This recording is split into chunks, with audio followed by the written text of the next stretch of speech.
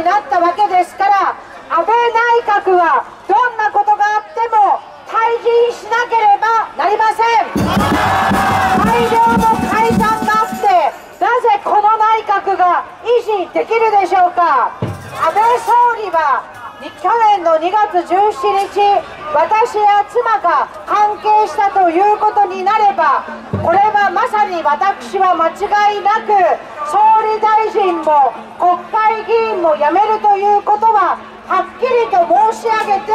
おきたい。皆さん関係はさらに明らかになりました。この言葉通りやめてもらおうではありませんか。安倍総理は今日の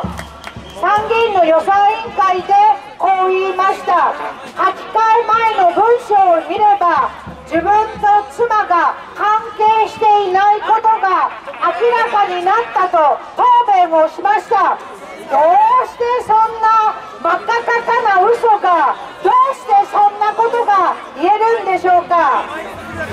麻生さんは麻生大臣は佐川さんの佐川局長の答弁に合わせて改ざんを行ったと言いました。違います。2月下旬から4月にかけて改ざんが行われています。佐川さんは日本会議のことも安倍昭恵さんのことも言っていません。改ざんがまさに安倍総理のこの発言関係ないということを示すために解散をやったことは明らかではないでしょうか。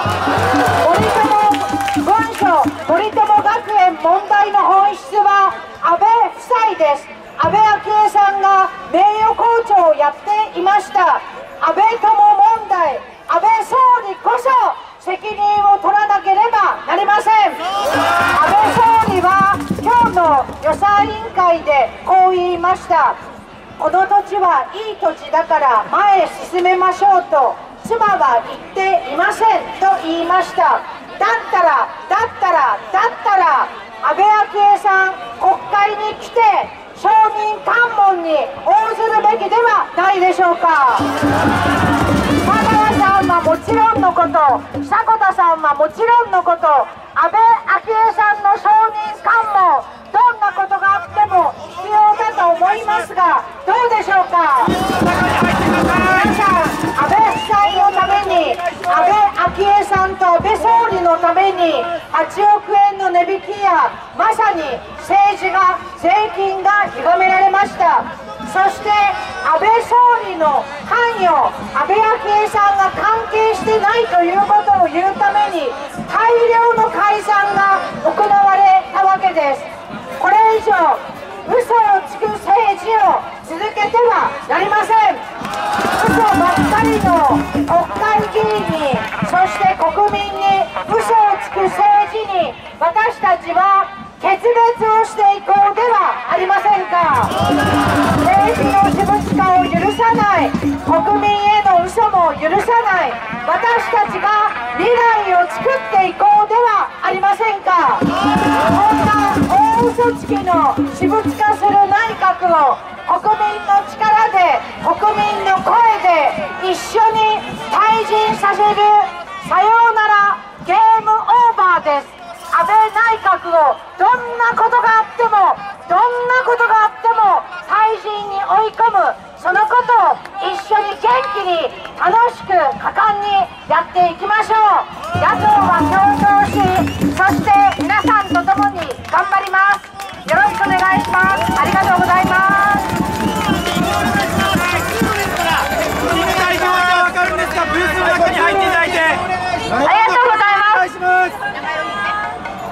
福島みずほさんでした。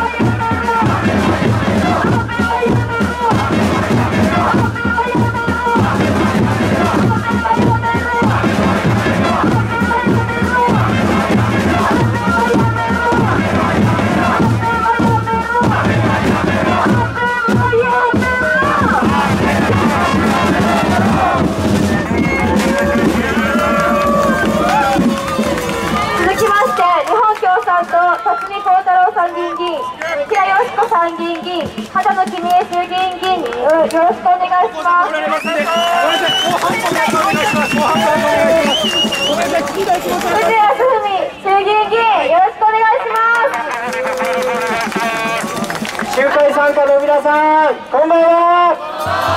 日本共産党参議院議員の辰巳幸太郎です。参議院の予算委員会の理事として、この間、森友学園の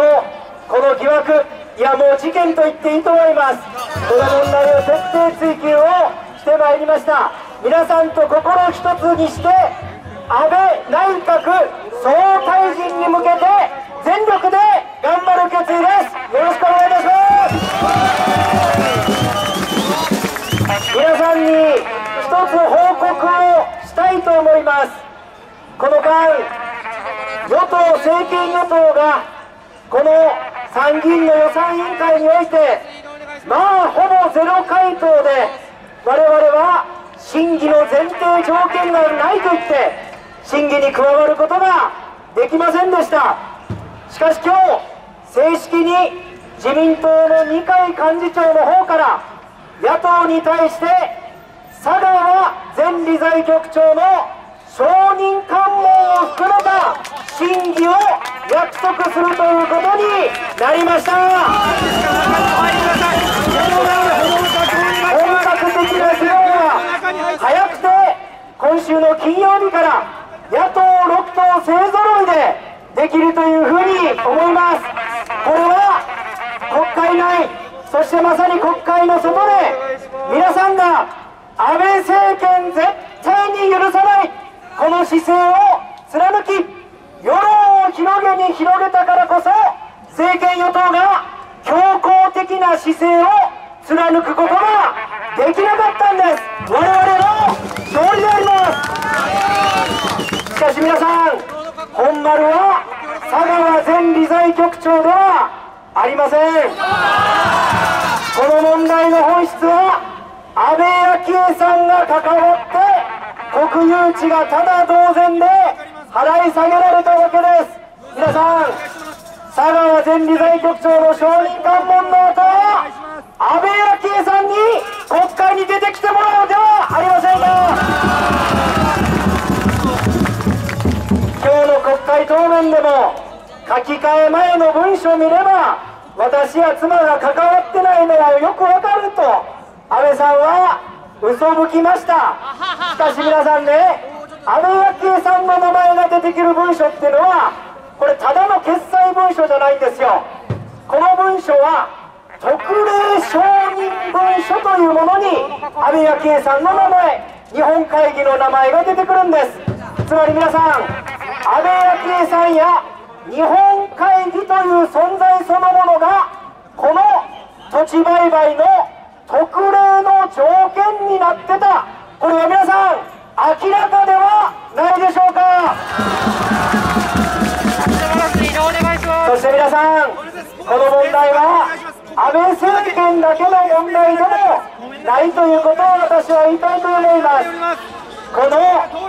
教育直後を暗唱させる小学校をまず最初に認可をしたのは日本維新の会なんです安倍政権安倍昭恵さん日本維新の会そして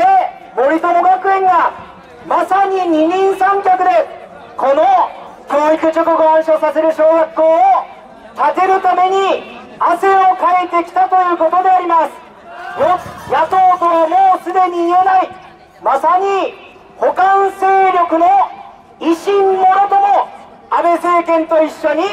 消えてなくなるよう私たち最後まで頑張ろうじゃありませんか。皆さん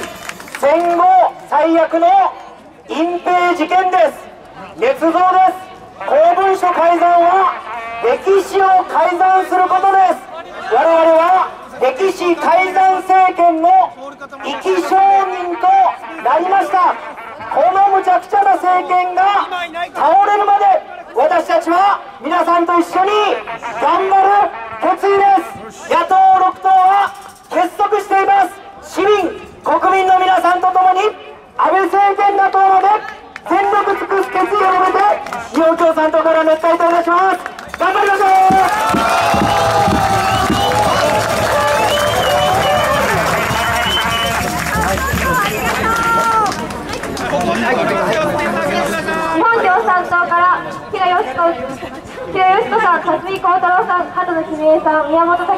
ありがとうございます。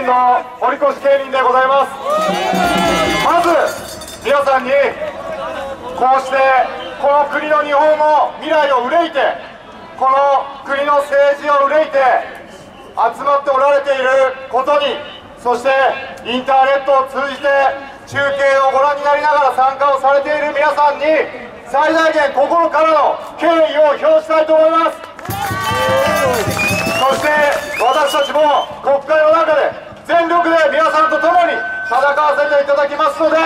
よろしくお願い申し上げます。頑張っていきましょう。さてこの数日間でいろんなことが分かってきました。一つ言えるのはとにかくこの国の政治が腐ってるということ。そして今回私が最もがっかりしたのは本当にショックだったのは国税庁のこの改ざんの文書。この文章を国交省も知っていた。そして会計検査院も知っていたんです。これ何を信じて私たちは議論すればいいのか。これが本当に分からなくなってしまっている。そしてこのことから与党の議員の方々も深く関わっておられる方々が当然いらっしゃるんじゃないかという疑念を強める。だけのデータが揃っている。知らなかったのは逆を言えば私たち野党の議員そして何よりここにいらっしゃる国民の皆さんですよ。国民の財産である国有地を売買するその一連の経過を国民の皆さんに知らせないようにするというのは何と言うんですかこれを。隠蔽と言うんですよ。隠蔽というのは本来外に出さなければいけないこと。本来皆さんに知っていただかなければいけないことをしれっと隠すことを隠蔽というんです。その上で皆さんに聞いていただきたい。皆さんに答えていただきたい。行政に隠蔽は必要ですか？政治に隠蔽は必要ですか？国民の生活を第一に考える。そしてそれを前提として国会の中で議論をする国権の最高機関の中に隠蔽が必要だと思いますか皆さん。あってはならないんです。隠蔽は必要ないんです。あってはならない。この隠蔽が誰のために何のために誰によって行われたのかということを私たちは一体となってしっかり取り組んでいかなければいけない。そうでなければ民主主義の根幹がまさしく壊されてしまう。一緒になってこの研究面にあたって頑張っていきましょうよ皆さん。最後に公文書管理法の第1条というのに触れさせていただきたいと思います。この公文書管理法は2007年に群馬県が生んだ自民党の総理大臣の一人福田康夫元総理大臣が大変尽力されたものなんです。この1条全文とは言いませんが一部述べさせていただきます。公文書等が健全な民主主義の根幹を支える国民共有の知的資源として主権者である国民が主体的に利用し得るものであることを鑑み国民主権の理念にのっとり注力します。もって行政が適切かつ効率的に運営されるようにするとともに国及び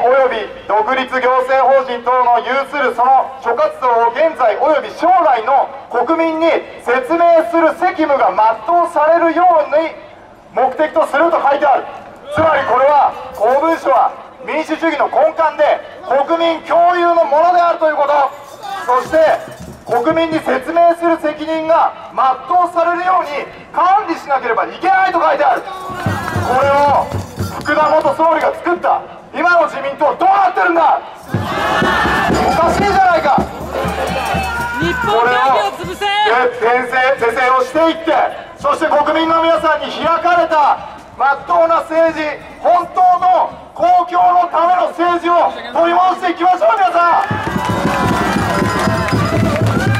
今日は立憲民主党から3人の代議士が参考させていただいております。一言ずつすいません立憲民主党の岡本明子でございます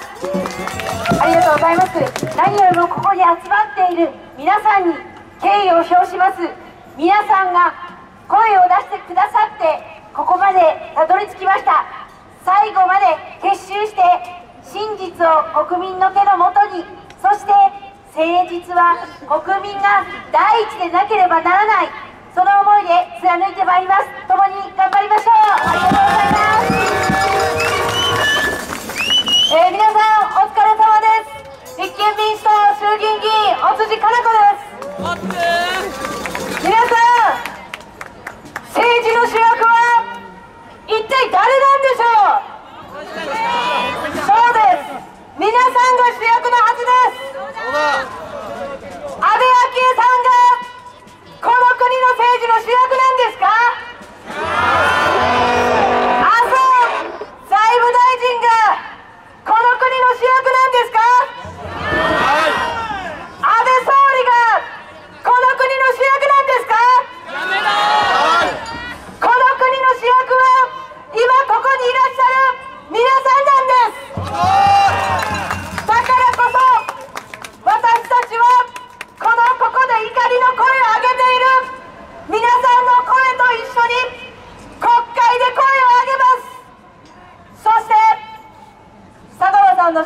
こ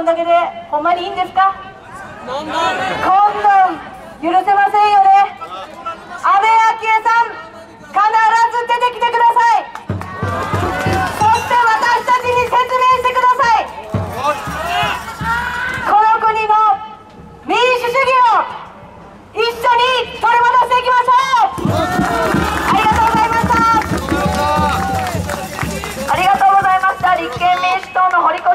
辻かな子衆議院議員岡本明子衆議院議員でした。ありがとうございます。これいきます。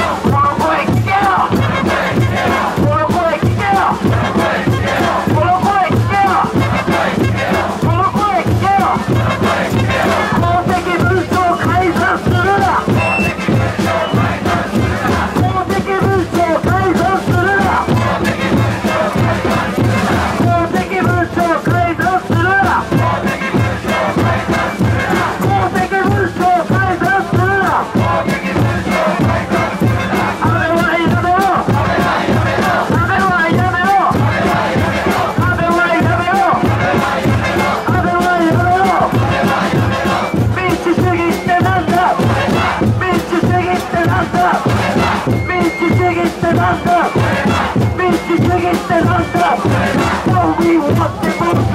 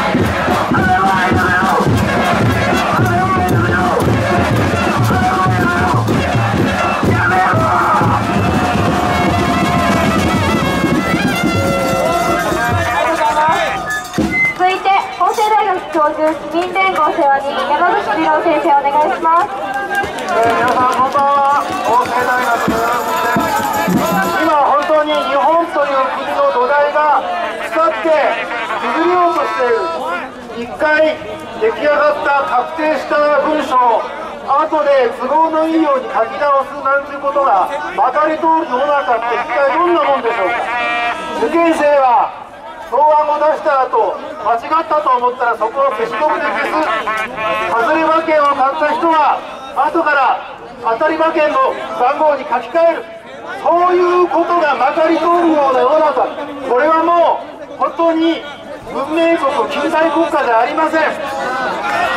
今まさに安倍政権の下で官僚が日本の国を崩そうとしている。安倍政権は国民に対して国を愛するなんていうことを求めていますけども実は権力を私物化して秩序を乱していてここの国を壊しているのは安倍晋三その人ではないですこの森友疑惑が明らかになってもう1年経ちました。ずっと国会に対して国民に対して嘘をつき続けてきた。その嘘の延長線の中で昨年は解散総選挙もあった。もし最初から本当のことが分かっていたら国民はもっと違う選択をしたに違いないとまさに今のこの衆議院政治的な正当性もないと言わなければなりません。地下鉄の駅に安倍晋三首相の腕になる再犯防止というポスターが貼ってある。冗談ではない。なんかこのポスターは犯罪を犯した人の更生を助けようという運動なんだそうですが更生していないのは安倍晋三ではない。まず国民に嘘。をさらに嘘がバレそうになったら今度は書類を改ざんすることを見過ごしさらにインチキを重ねる罪の上に罪を重ねている。こんな人物に再犯防止なんてちゃんちゃらおかしい。今必要なことはこの国の政治に道理と常識を取り戻すことです。この道理を取り戻すことは内閣総辞職行政の責任者が責任を取って辞める以外にはありません。過去1年間財務省をはじめとして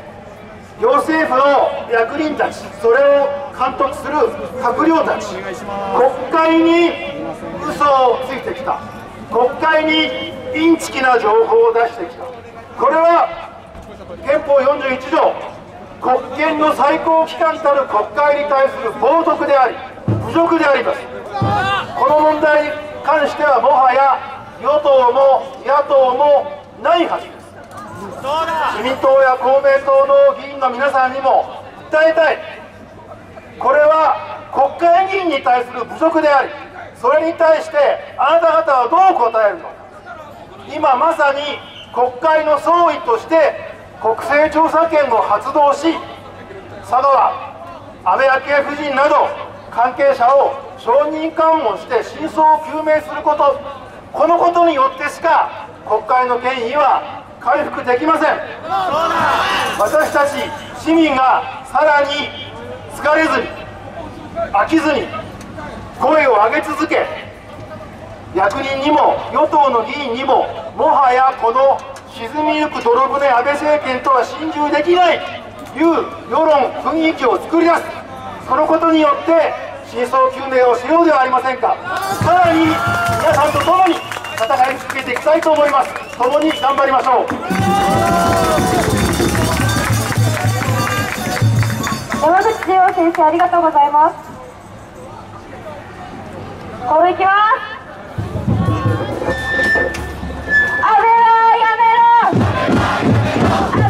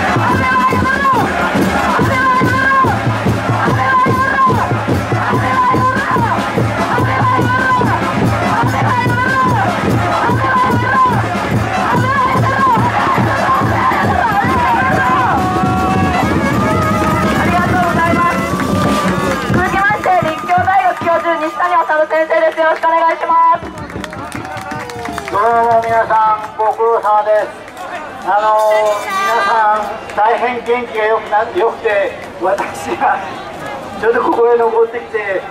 ちょっとこれどうかなと思うんですけど実はいや10日ほど留守にしてまして先ほど羽田に帰ってきたところですけれどもすぐにここに駆けつけたのはなぜかというと10日前で出かける時にはこれでいろんなことが明らかになって安倍政権もそうこれでそろそろ年貢の納め時かなと思いながら行ったら次から次へと状況が進んできて本当にもう盛り上がってるっていうのがヨーロッパにいても分かるんですね。それで向こうでもヨーロッパのことがこちらあの東京で起こっていることがいろいろ伝えられてます。それでもう安倍政権日本の極右政権がとうとう今まで選挙に勝ち続けてきたけれどもこれでとうとう墓穴を掘ったっていうふうな報道がなされてますそれでここの国会前の連日のデモの様子も皆さんの頑張りも Facebook などを通じてそのまま向こうで見ることができるんですねだからここの熱気を感じながら私は何かジュネーブから封印列車でサンクトペテルブルクに昔送り込まれて10月革命を引き起こしたというあのレーニンのような気分で今日飛行機に乗ってきたというのは大げさな話なんですけど今そんなそんな状況です要するに外から見ててもそういう状況になってますでもしというかここまで今日いろんな方が言われたここまで今日本の政治がぐちゃぐちゃになっているという政治が成り立つ体制がもうこの国の中で崩れてるっていうそういうことがあらわになってきて明らかになってきてこれでなおかつ安倍政権が持ち続けるようなことがあったら本当にもうこれはね世界の崩壊じゃないかっていうぐらいのどん詰まりに来てるわけです。けれどもそれを例えば今の国会だと国会で人数が足りませんやとかね。でこの人数が足りない時にどうしてじゃああと1人しかできるかっていうのは本当に昨日も九州では火山の爆発があったようですけれども日本中の社会にマグマが溜まっててそのマグマがね噴き出すところがないとダメなんです。そしてねそのマグマが噴き出すその場所がここなんですね。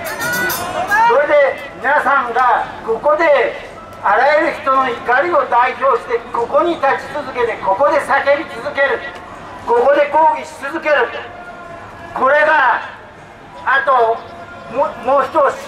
この日本の社会の状況を変えるその力だと思います。だから今日も来る。で明日も来る。それから安倍政権が倒れるまでここに来る。そういうことを私もやり続けようと思います。皆さん一緒にやりましょう。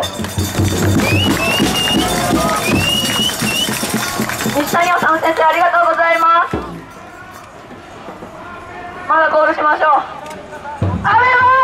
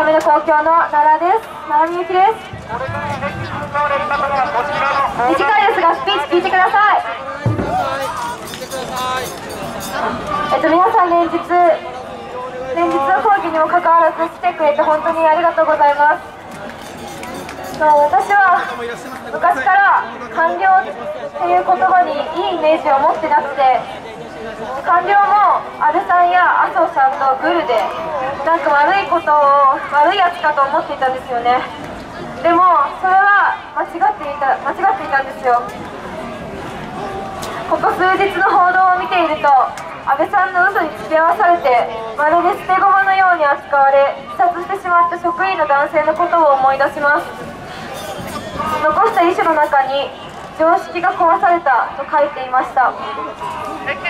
が亡くなってしまう安倍さんの政治腐敗の結果絶対にあってはならないことが起こってしまったんです。本当に悲しくて仕方ありません。また森友学園への国有地売国有地売買に関して安倍さんこんなことを言っていました。私や妻が関係したということになればに私は間違いなく総理大臣も国会議員も辞めるということははっきりと申し上げておきたい。こう言ったんですよ。覚えてますよね。関係していたどころかズブズブじゃないですか。どうして今すぐ辞めないんですか。さっさと真実を話して責任を取って総理も大臣も今すぐ今すぐ辞めてください。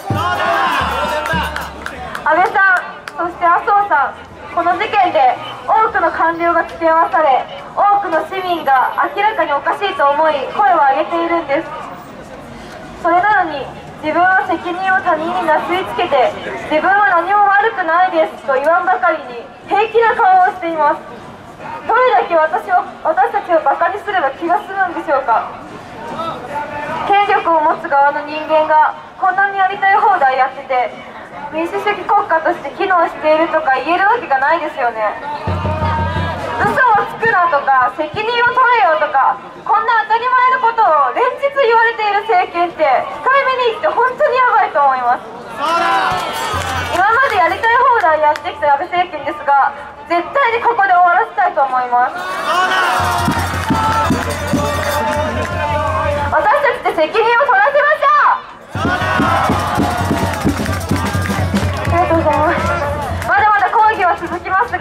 が無理せず周りの人を気遣いながら声を上げていきましょう。ありがとうございました。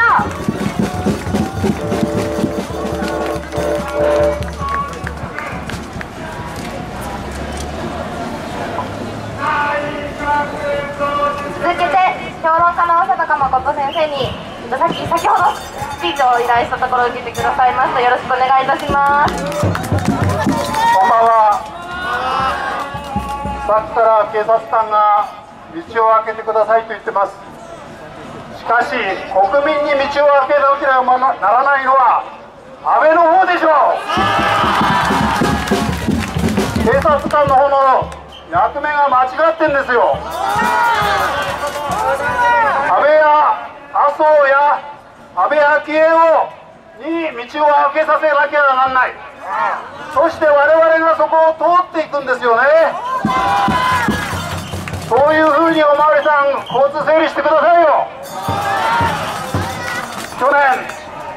朝まで生テレビに出てきた出てきた時に佐かはまだ生きてたんだっていうような感想がどっかに載りました。安倍晋三が首相のまま死んでられませんよ。冗談じゃない。昨日あそこで話した時に前川喜平にさんに対して官房長官の菅菅？吉秀？どっちでもいいんだ菅でも菅でも。菅が地位に連々とした人だと言いました。冗談でしょ？それは安倍でしょ？安倍であり麻生でしょ？もうとっくにやめてなきゃなんない人ですよ。前川喜平さんに謝って菅義偉は安倍にそう言いなさいよ地位に連々とするなと。麻生安倍安倍晋三麻生太郎安倍安倍昭恵ってのはみんなあなんですね。三悪人のトリプル A ですよあいつら。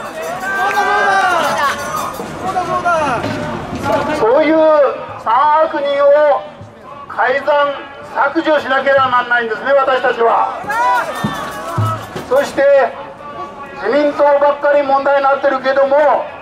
自民党にぴったりくいくっついているコウモリ党があるでしょ公明党の山口何がしは審議拒否を続けている野党に対して国会に出てきて物言えていました。バカも休み休み言え。安倍昭恵が国会に出てきて速やかに言えばいいんですよ。そんなことやってると公明党コウモリ党は安倍晋三ももう特に仲間ですけどもさらに仲間だと。その責任を追及されなきゃならない。いうことでしょ？今日ねここでこう若い人たちが孫みたいな人たちが頑張ってますよ。じいさんも頑張らないわけにはいかない。一緒に頑張りましょう。以上笹野さんありがとうございました安倍政権退陣に追い込むために中にいる心ある官僚にも頑張ってもらいましょうよ。官僚頑張れコールもしましょう。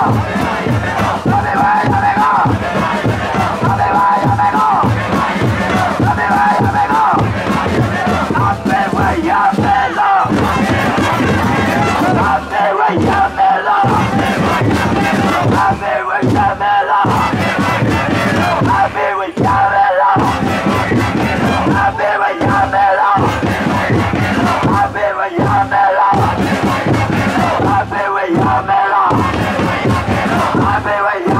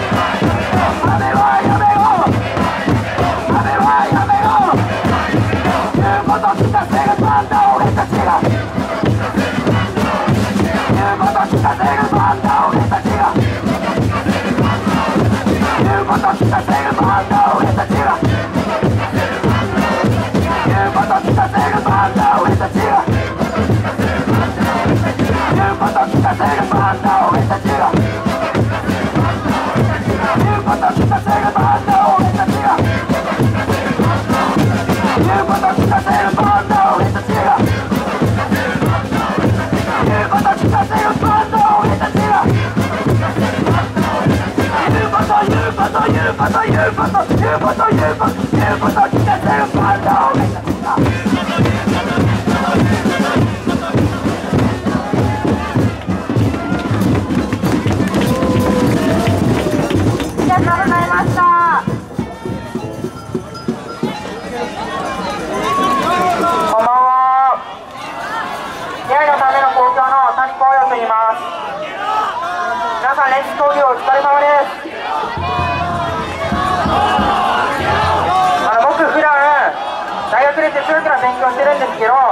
今日はちょっとあの哲学とは関係ないんですけども、本当に言いたいことがあってここに来ました。本当にもう安倍政権今すぐ終わってください。本当にありえないですよ、この政権。文書の改ざんって本当におかしくないですか？あの今、大学生だから、普通にあのテストとか、レポートとかあるんですけど、改ざんやったら一発で終わりっすよ。人が、国会議員がやってんじゃねえよ。あの僕あの国会前とか初めて来たのがちょうど1年くらい前なんですけどもう本当にこの1年間ずっとおかしいことがあって1年前だと PKO の日本問題があってその後森友問題が来て酒問題が出てきてで共謀罪もすごい本当にひどい戦記で本当にもう1年間ひどい政権ででついでに言うともうこの1年だけじゃなくてこの5年間本当にクソみたいな政権で特定秘密保護法も強行採決で安保法制も強行採決。もう本当に民主主義をぶち壊しまくってるっすよ。ありえない。なんかもう5年って本当に長くて今ちょうど二十歳なんですけど5年前だともう中学3年。本当に長くて。人生の4分の 1? もうこんなひどい政権に付き合ってらんねえよもう今なんかあの労働問題もいろいろあるし保育園足んないとかもあるしいろいろもう社会問題があるんですけどでもこんな政権に付き合ってたらそれも全部全然解消されていかないし本当に付き合ってらんないっすよ国会議員は国民の信託を受けて任されてるんですけど全然任せらんない。あの責任全然果たしてないですよね。説明責任もそうですけど国会議員として何やってるんですか？本当にダメダメな政権じゃないですか。もう本当にこんな政権には任せられないで今すぐ辞任してください。やっぱりあとそのおかしいことはおかしいって言わなきゃダメですよ。今の政権本当におかしいしでなんかその声上げてるとやっぱりえなんか政治かかってんのみたいな言われることあるんですけどやっぱりこんだけおかしい政権におかしいっていうのは当たり前なんですよ。でやっぱりその国民の声っていうのはすごい大きくて今官邸参りか安倍首相官邸参りか分かんないんですけどやっぱりこういう抗議行動ってすごい大事なんですよ。もう毎日そのもう一人として一人の頭一人頭勝ちとしてそれでも毎日来て抗議の声を上げ続ける。そういうことやってあの政権も倒すしかないんですよ。最後にちょっとまとめますけど今すぐ安倍政権を総辞職してください。スピーチ終わりますじゃあこのままコーラ入ります。安倍は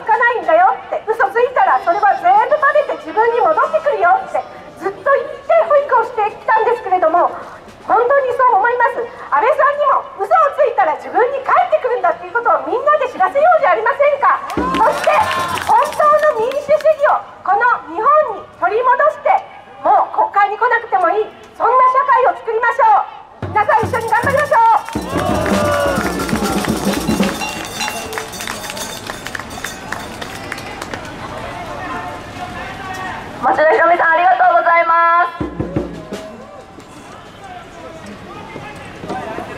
えっと今池内沙織さんが来ていましてちょっとマイクを渡したいと思います。さ